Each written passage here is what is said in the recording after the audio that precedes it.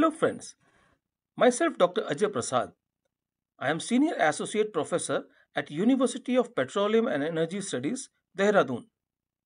Friends, I am presenting to you here an insight into Windows forensics through these video sessions.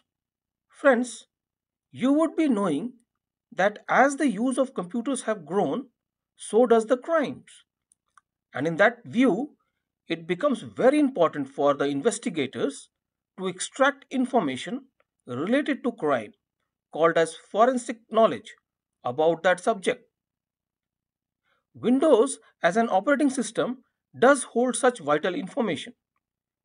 We will in these videos will look into such areas.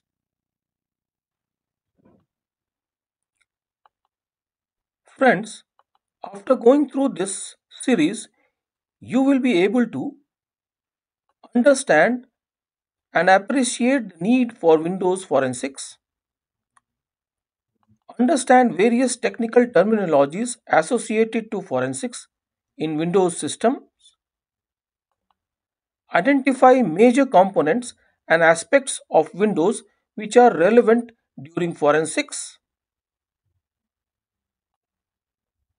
understand basic terminologies and tools used to carry out data capture from a Windows system during forensics investigation. Understand basic tools and technologies behind capturing registry information from Windows systems during forensics investigation.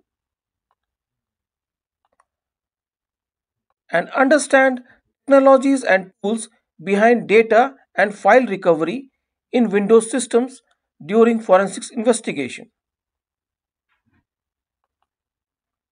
Friends, in this video series, firstly, in part 1, we will see the need for Windows forensics, Windows history and, and the areas that are there which are forensics, forensically available and useful in Windows.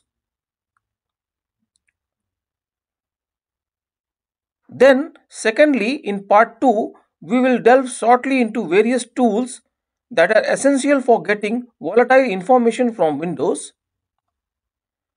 Thirdly, in part 3, we will visit tools pertaining looking into non-volatile information from Windows.